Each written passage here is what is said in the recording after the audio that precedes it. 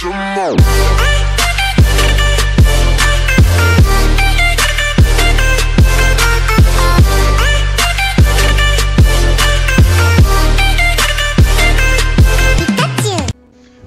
going on guys? This is Dredd back with another gaming video. Battlefield 1 multiplayer.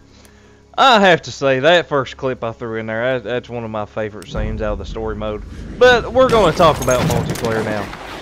There's something about multiplayer running around as a scout, as a support, as a medic, as a assault, meleeing, shooting people in the face, even if you get killed a million times, oh, it's it's just so fun to me.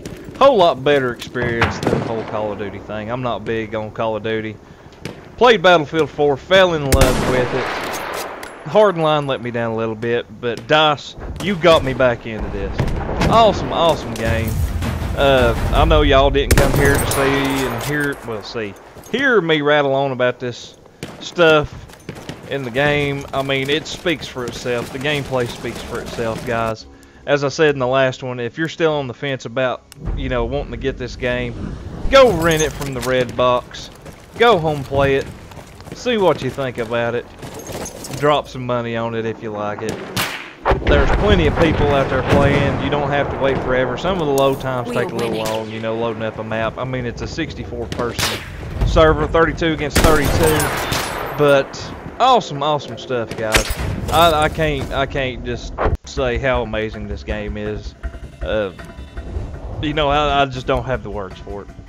But if you want to watch some more videos, uh, I can't. I can only pump so many out at a time. My boy Infamous, he's got him a gaming channel. He's got all kinds of uh, new Battlefield stuff on his uh, channel. I'm gonna put a link in the description down below. Y'all go check him out. Say what's up. Tell him Dredd sent you. Uh, subscribe to him. Subscribe to me. If you like this video, hit that like button down below. Leave a comment. Nothing's gonna hurt my feelings because I can ban nah, I'm just playing. We we let all comments pretty much ride unless you get a little bit ridiculous on it. I know how the gaming community is. We like to have fun. But, uh, trying to put out a uh, positive community for gaming in general. Uh, so if you like games, I'm not a major league gamer. Come back, check us out. Like I said, subscribe, hit that like button, and uh, we'll catch y'all later. There, we have the